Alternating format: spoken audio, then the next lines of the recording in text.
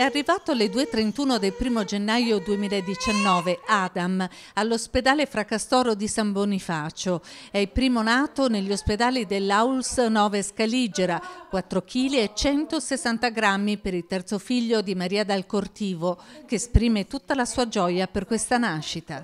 È stato proprio una sorpresa perché Adam doveva nascere la vigilia di, di, Natale e invece ha deciso di scegliere il primo, del, il primo giorno dell'anno del 2019, insomma ha un po' confuso appunto un po' le date, ecco. È il terzo, terzo figlio maschio. Terzo figlio maschio, a casa abbiamo Isacco che farà sei anni a giugno e abbiamo Zeno che fa tre anni il 3 di gennaio, quindi vicinissimo a suo fratello. Dal modo in cui maneggia il piccolo Adam si vede che Maria è una mamma esperta.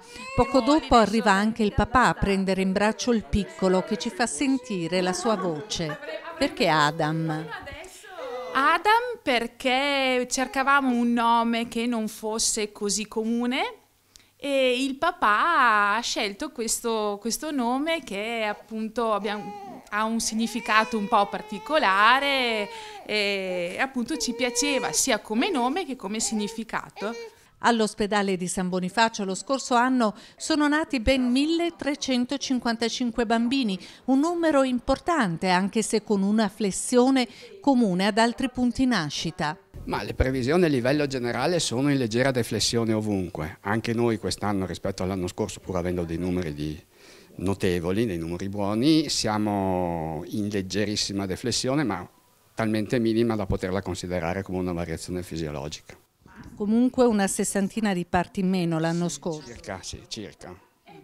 E comunque è bello vedere queste giovani mamme che con fiducia portano a termine questi, queste gravidanze. Certo, noi eh, per quanto riguarda noi e per quanto riguarda l'approccio che abbiamo noi con le, nostre, con le mamme e con i bambini, l'incutere fiducia è una delle missioni più importanti nostre.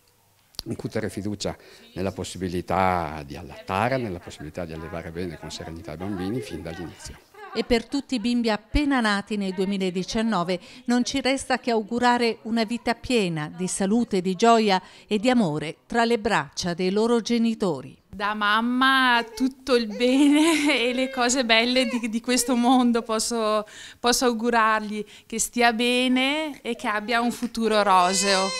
Questo è proprio quello che mi auguro, insomma, e che gli auguro.